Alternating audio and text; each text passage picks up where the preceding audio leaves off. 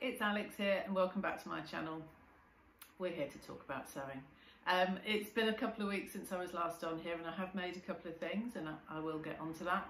Uh, but I thought it was just time to have a bit of a catch up, uh, a bit of a chat. Um, first of all, thank you very much for the lovely comments on my last vlog. Um, certainly with regard to, well, both things, but the cape. Um, I've got to be honest, I haven't worn it out of the house. I've tried it on a couple of thing, a couple of times, thinking it might go with what I was wearing, but it feels a bit costumey. It feels a bit fancy dress. So I'll keep trying. I, I still think if it if we get some snow, some a proper downpour of snow, um, it might be great for that. But at the moment, yeah, I think it, it might be one of those. Um, so, you know, we'll see. And I'm afraid I'm not wearing anything me made today. It's absolutely freezing outside. I got caught in the hail walking the dogs this morning. So I'm going for warm and cosy. And uh, yeah, so this is uh, actually, it was a Christmas present from my husband, uh, but it's lovely and warm. So I've cheated. Um, I just thought uh, a couple of things I thought I'd mention before I get on to what I've made.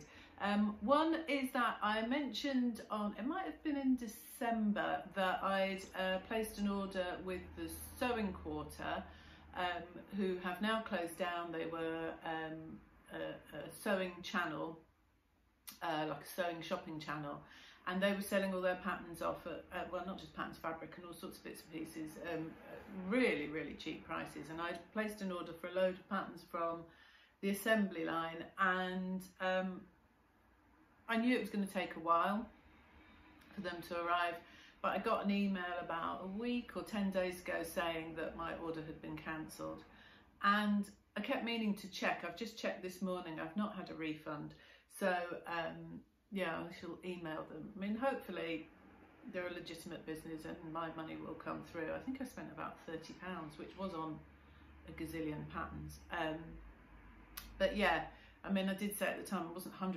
sure what might happen. There was an element of risk when you know somebody's uh, closing down. But anyway, fingers crossed that will come up, come back I'm a bit disappointed really because there were a lot of patterns from the assembly line and uh, I really really love their patterns. So no news I'm afraid on my camera, it's been sent off uh, to the insurers to be inspected.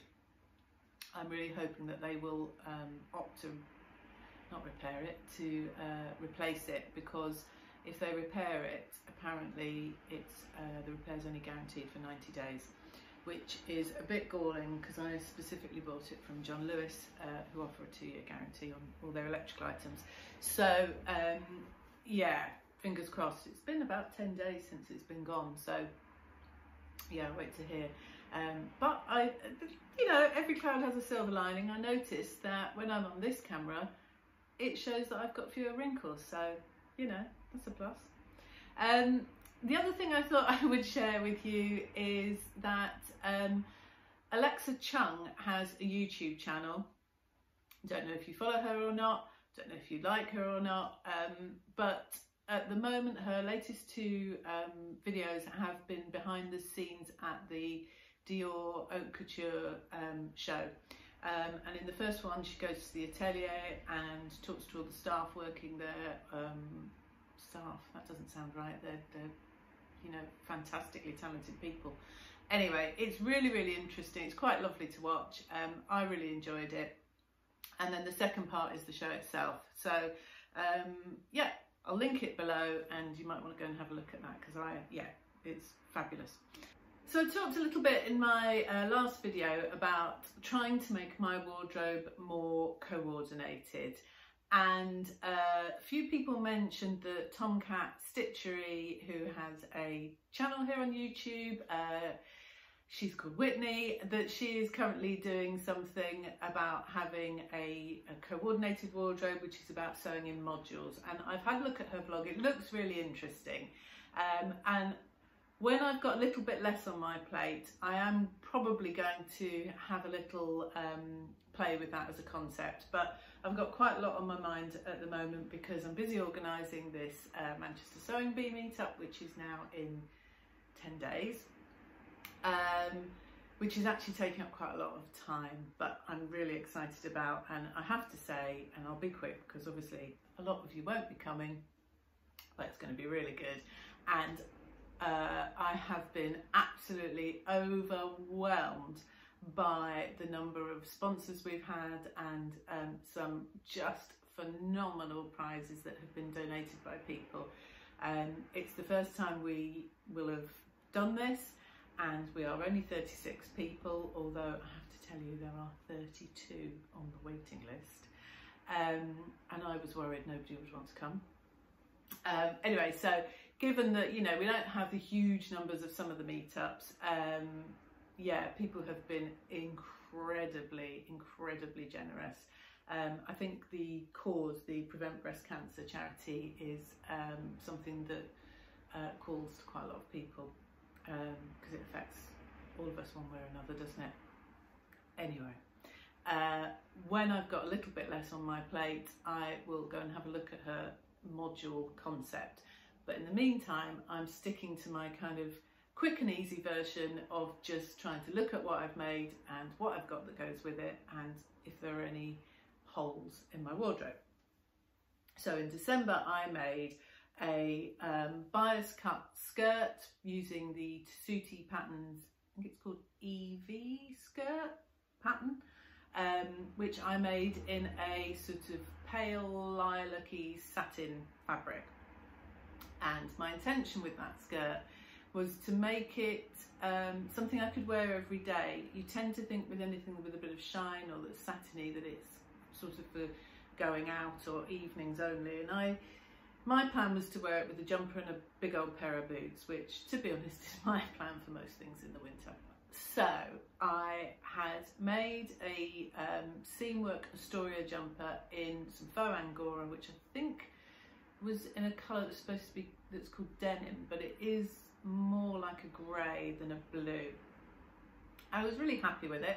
It's the first time I've ever made a jumper that's fitted, um, but having lost a little bit of weight, I was feeling a bit more confident about wearing something fitted and cropped. Um, I wasn't sure how I'd get on with it, but actually I found myself to be wearing it a lot. So um, I thought I would make another jumper to go with that same skirt that would also go with the infamous brown ginger jeans and anything else that I might have. And a little while ago, I had a mini colour analysis, analysis, analysis uh, session um, because there's a lady called Boz. She's also here on YouTube, but she's just had a baby, so she's been a bit absent for a while. Uh, she has an online fabric shop called Fabric Magpie. She's based in north Manchester and she had a pop-up shop. And as part of that she invited uh, a stylist to come along and do some mini colour analysis sessions with people if they wanted it. So I did that and I also ordered from her some colour swatches. And as part of that it kind of introduced me to the idea of wearing some colours that I have um, kind of avoided or just not worn. And one of those was purple but I thought lilac and purple together would look really good I quite like doing that. You know, you have uh, shades of the same colour family in one outfit. I, I like how that looks. Um, so I had a good hunt around for some purple sweater knit. And unfortunately, I just couldn't find anything that was either, yeah, that I liked the look of or was the right colour. So I settled for a compromise and I ordered some cable um, knit fabric from TFG Fabrics, which looks like this. And this is just the colour I wanted, so I'm really pleased with that. It looks like this. Um, quite a lot of fabric shops seem to have it, and um, it does seem to come in a really huge colour range, so that's brilliant. And I've used it before, so that's why I knew it was a bit of a compromise, because it's not a sweater knit as in um, that cable pattern isn't knitted into it. It's more like a sweatshirt fabric. Um, and it's wonderfully, wonderfully soft on the outside. I mean, it really is nice and snuggly, but the inside, not so much. And it's not that the inside is horrible as such. Um, it just, you know, it's a poly viscose mix and that's when you kind of, yeah, you feel it. It just isn't, the contrast between the inner and the, or the wrong side and the right side is huge. Um, let me see if, I don't know whether you'll be able to kind of see, but that's the wrong side.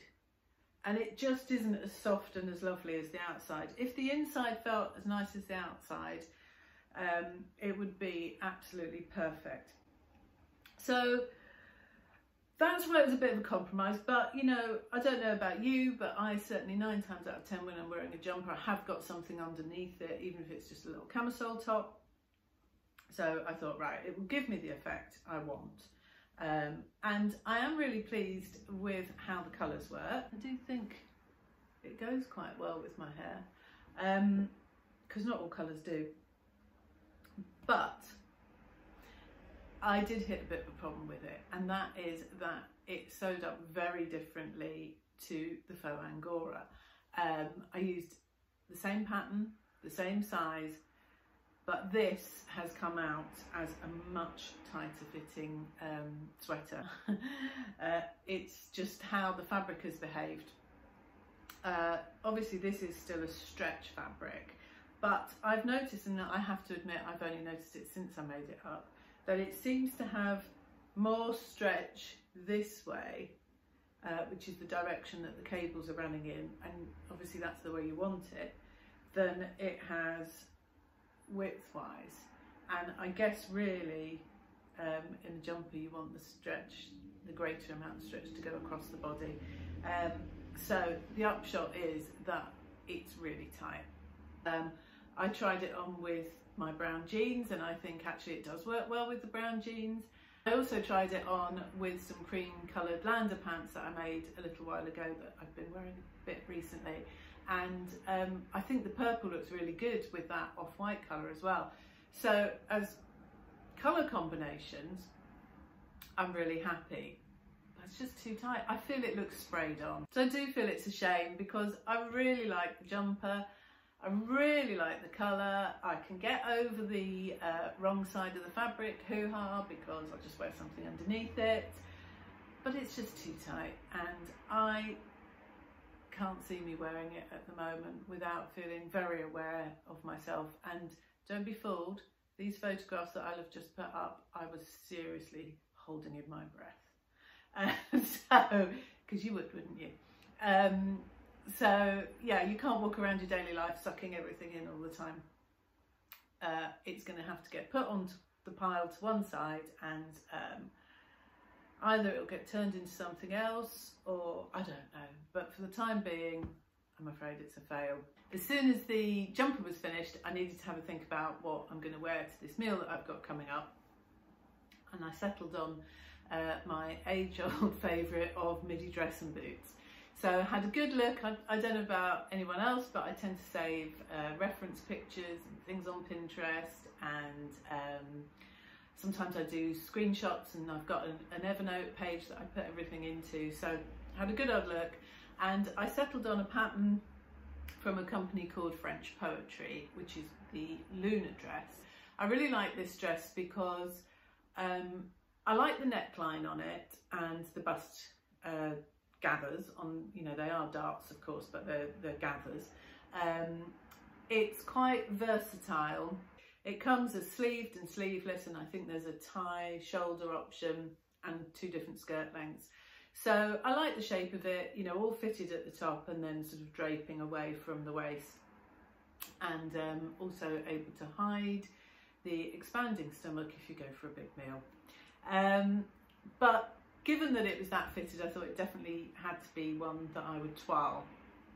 I don't normally have uh, too many problems with anything fitted around the bodice because I'm not someone that's ever had to do a full bust adjustment or anything like that. Um, but nonetheless, time for a toile. And I used some fabric that I had bought. Thank thanks very much to uh, JJ, who is the Camden Stitch, because she uh, very kindly sent me a message after I was raving about how fabulous viscose twill is to work with to tell me that Pound Fabrics had some in and they are cheap as chips over there Um, and so I ordered a load from there, which I think, considering that she's got her own fabric store, is um, yeah, either bonkers or very kind, or maybe a bit of both. But anyway, yeah, thank you very much for that. Um, so I'd ordered quite a few different colours, and there was a print, and I wasn't 100% sure that this print was very me. But as I said, it although you have a minimum of three meters, you have to buy from Pound Fabrics. It was very cheap and I thought, well, I could always use it for a toile. So that's what I did. And this is the print. I think being black and red, it appealed to uh, the teenage goth that I was many, many moons ago. Um, and it is actually, I mean, I think it's something like three pounds a metre. Um, it's really nice fabric. It, I mean, obviously, it's not the same quality as the Atelier Brunette one that I used previously, but then you know, there's a huge price difference, so you wouldn't expect it to be, would you? Um, so I made up the dress and when it came to the neckline, so that neckline is quite wide open. Um, and when it came to the neckline, the instructions said to either cut some strips of organza and sew them in the seam allowance or to use some iron-on um, Vilene or something like that. I do have some iron-on kind of tape. So I did that. Now, the instructions do say to iron it on, to put it on in the seam allowance. I've had a little look at the instructions again today and actually when you look at the drawing of, they've done the drawing of the organza, it sort of straddles the seam allowance, which is of course, what I would normally do. But I remember when I was doing it thinking to myself, normally this should go across where the seam is going to form, not just in the seam allowance. But I thought, well, maybe I'm missing something here. Maybe it's a technique that worked really well and I don't know about it. So just follow the instructions. So when I go on to tell you that the neck was all stretched out, you could I argue it was my fault for not looking at the diagram, but the written instructions does say in the seam allowance. So, you know, I should have known better. But needless to say, when I came to try it on, the neckline was all baggy and gaping. Um, so I fitted it and realised that I could salvage it by bringing up the um, shoulder seams so I did that, brought up the shoulder seams, pinned them, um, sewed them together, tried it on very quickly. It was like, yeah, okay, that's okay. And then I attached the arms and I left it to hang because it's very long. I was pretty disappointed the next day when I tried it on. I mean, at first glance, the shoulders are a bit, the uh, sleeves are a bit off. I, I, need to kind of come up a bit on the shoulder. They kind of, seam is starting about here. But frankly, that's irrelevant. Um, it looks, I think the word is dreadful. I think it's partly because I've basically ruined the neckline. Instead of that lovely open uh, V neckline, I now got a slightly higher neck, which looks a bit, I don't know, do I want to use the word frumpy? I just feel like men don't get described as frumpy. Old fashioned, so we say old fashioned.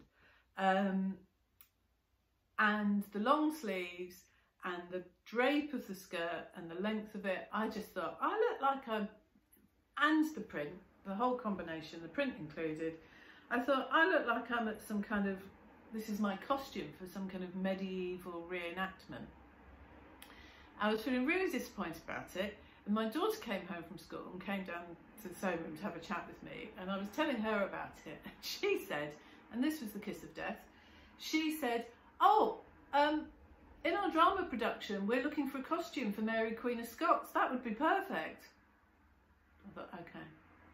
Clearly, this is the perfect costume for Mary Queen of Scots. What it is not is the really nice, slightly edgy, you know, midi dress to be worn in 2020. So I've abandoned it. I will take some photographs of it uh, as it is because I'm not going to hem it and I'm not going to adjust the sleeves because actually, frankly, I genuinely may give it to my daughter's school for any future productions if they're doing anything. I didn't even go back and think, right, revisit it, do the neckline properly, because that's part, that's pretty much what's ruined it. It's, it's the kiss of death now. I've now decided that it's not going to work. I think, actually, having looked at it, it might work better a lot shorter if I, you know, like almost knee length or above the knee, but I don't know that that's me. I don't know that I'm that comfortable in very in short skirt. I mean, not very because it's not mini, but in shorter dresses. So I genuinely think I'm going to donate it for school productions. So I do still now have to make a dress. Um, well, I don't have to, do I? I mean, I could use something I've already got. I could even, God forbid, buy one. Um, but I am halfway through making a dress that I think um, is going to work, but I haven't finished it yet. So I will hopefully get that finished soon and show you next time.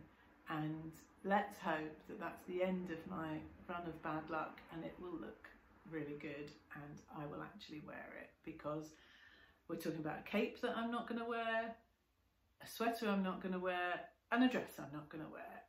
This is not good, is it? It means it's time for me to go and um, thank you very much. I will see you soon and wish me luck. Bye. I'll do the subscribey stuff as well. I always forget that. All right, bye.